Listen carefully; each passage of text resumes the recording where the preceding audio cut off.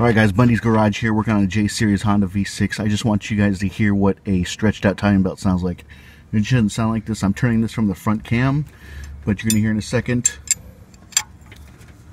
Okay, ready? Listen.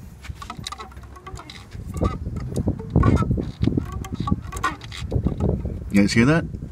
Shouldn't sound like that.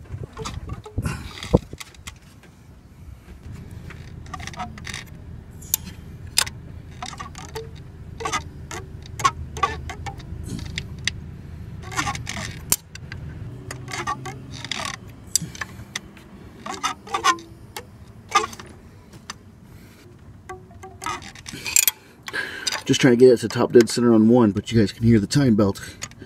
It's like a stretched out guitar string. if you go too far, you can always come back. Going counterclockwise, but I think I'm right there. So, yeah, if you guys uh, want to check your time belt, just take the front cover off and then turn it clockwise.